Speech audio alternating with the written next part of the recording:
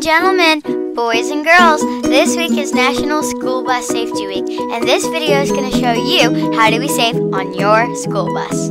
Buckle up! What do you think about our bus safety? Um, bus safety is very important. Um, it is important that you always listen to your bus driver. If you have a bus that has seatbelts, it's important that you always wear your seatbelt and you stay seated um, and you don't get out of your seat until your bus comes to a complete stop. I'm so excited for math today. I know, I hope I pass the test. Same. You guys are gonna miss the bus. Oh! Wrong way. Um, excuse me. No, it's my turn. That's not safe. Oh, sorry. We got uh, the window in the back. Also can be used as emergency exit, okay?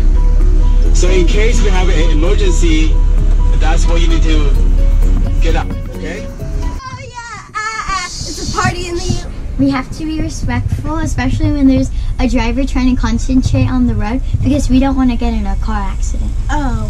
Hey, you! Back no, no, you have to sit down. You're gonna